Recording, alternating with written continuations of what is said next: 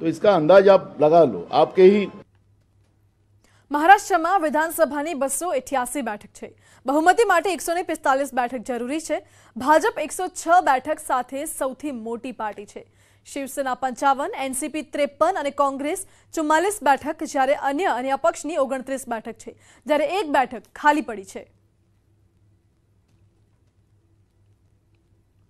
હાલ બળવાખોરી બાદ ઉદ્ધવ ઠાકરે સાથે એકસો ને ઓગણચાલીસનું જ સંખ્યાબળ બચ્યું છે, જે બહુમતી કરતા છ બેઠક ઓછું છે.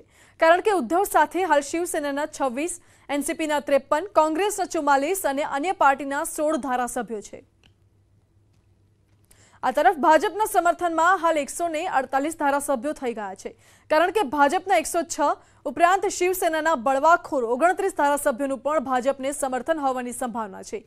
જ્યારે અન્ય તેર ધારાસભ્યોનું પણ સમર્થન છે.